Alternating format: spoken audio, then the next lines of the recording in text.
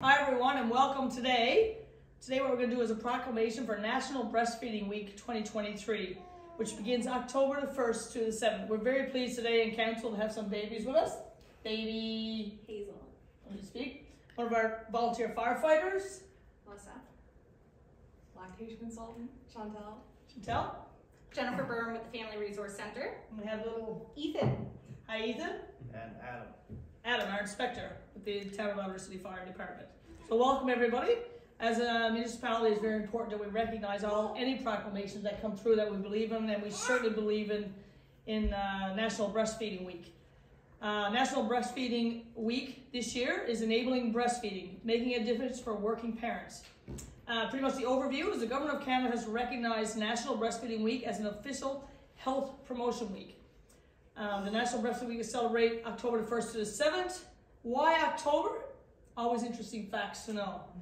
Uh, it is the 10th month of the year and symbolizes the first week of a baby's life after nine months of pregnancy.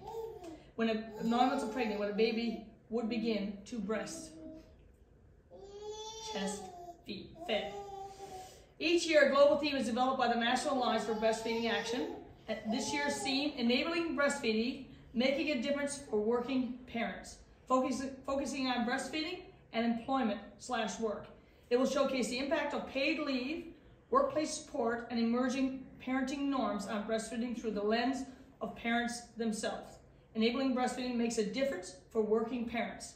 And I'm sure that's physically, mentally, and otherwise uh, in, a, in a family. I know we've come a long way as a community and as a province and as a country uh, from six month maternity leave, now we're up to 18 months, and some have paid leave and some have don't. So we've come a long way. But with that becomes the, these type of support groups that makes it bigger and expands and it gives the facts to um, make us better. So we want to be a baby-friendly Newfoundland. I'll hand it over to Councillor Pike now. Give us a little bit more information. All right, enabling breastfeeding. The majority of Can- Canadians have access to adequate parental leave. Unfortunately, for financial reasons, not everyone is able to take advantage of these benefits. It may be surprising to note that one, number one reason for weaning after three months is due to return to work. That needs to change. Breastfeeding in a friendly workplace offers flexible work patterns and reasonable break times to express breast milk or breastfeed as needed.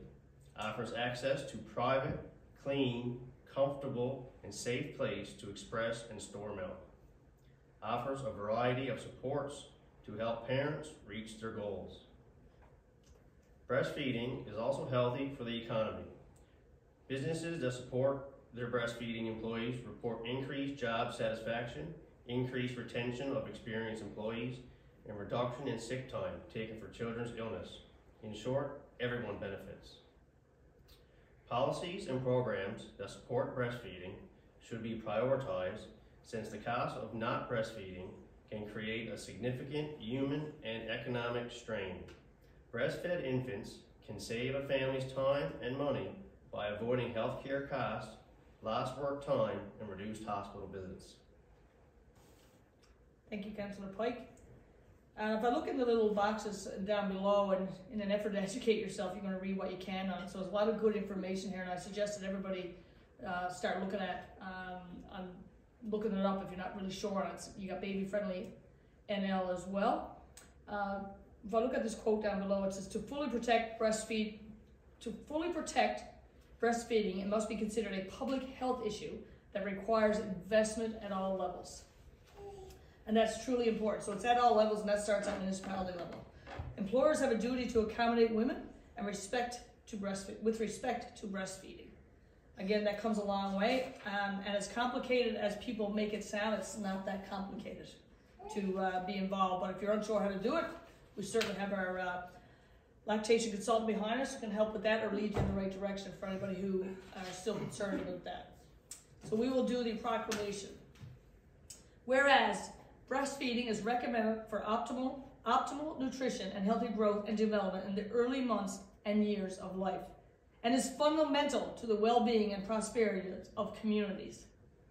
Whereas breastfeeding has an impact on lifelong health, with exclusive breastfeeding for the first six months and continued breastfeeding for two years and beyond, ensuring that mothers and children receive maximum health benefits. Whereas breastfeeding is one of the most cost effective prevention strategies for many infections and chronic acute diseases.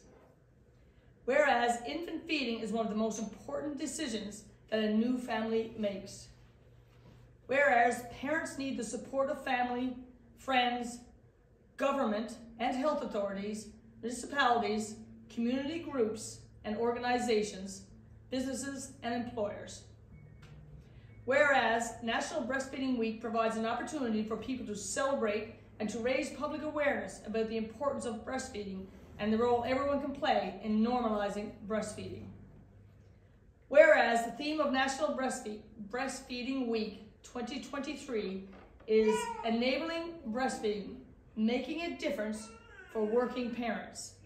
The theme focuses on the impact of paid leave and workplace support on the duration of breastfeeding and the positive impacts for parents, children, and families. Therefore, I, Belinda Adams, Mayor of the Town of Labrador City, proclaim October 1st to 7th, 2023, National Breastfeeding Week in Newfoundland and Labrador, specifically the Town of Labrador City. Sign that. I really that this, uh, this comes on the back, uh, for me, uh, being in Goose Bay last week for, um, Atlantic Mayors Congress, and we actually visited a farm where they're talking about food insecurity. So when you talk about food insecurity and what, what a community can do and what a, a municipality would do, one of the things that did come up in that, uh, Congress when we talked about food insecurity, especially around Labrador, it's getting tougher for food insecurity. One of the things that came up is um, you know, when, you make donations or from a municipality, can you take it out of pay stubs and, you know, get donations that way? And one of the things that did come up is if we get this right on being able to breast, breastfeed and make it, uh, opportunities for families to go longer, be subsidized from it, and that piece, that food insecurity, that plays a little bit of a part in this, is breastfeeding. So appreciate everybody coming here today and asking us to do this.